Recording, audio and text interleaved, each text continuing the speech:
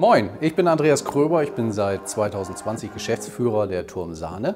Turmsahne gibt es seit 1949, wir sind seit 1994 hier am Standort Westerender Weg und wir sind Spezialisten für Sterilmilch, Kaffeesahne, Kondensmilch, Milchmischgetränke und wir sind gerade dabei, uns so ein bisschen jünger aufzustellen. Jünger, moderner, frischer und das zeigen auch unsere neuen Etiketten, unseren Relaunch unserer Milchpause. Und wir haben jetzt auch ein milchalternatives Sortiment in den Milchmischgetränken. Ein Haferdrink Natur, ein Haferdrink Kakao und ein Haferdrink Eiskaffee. Wir sind Spezialisten für Sterilmilch in Glasflaschen und das ist das Besondere bei uns.